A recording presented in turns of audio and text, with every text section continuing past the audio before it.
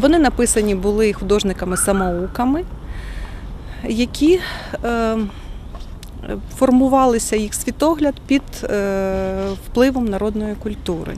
І тому образна структура цих ікон теж е, форму- сформувалась під впливом народної культури. Отже, сама ця народна ікона це власне є синтез е, християнської традиції, народних чи язичницьких фольклорних уявлень е, українського народу, а також е, якихось життєвих спостережень, е, вподобань, а також фантазій самого автора, оцього художника самоука.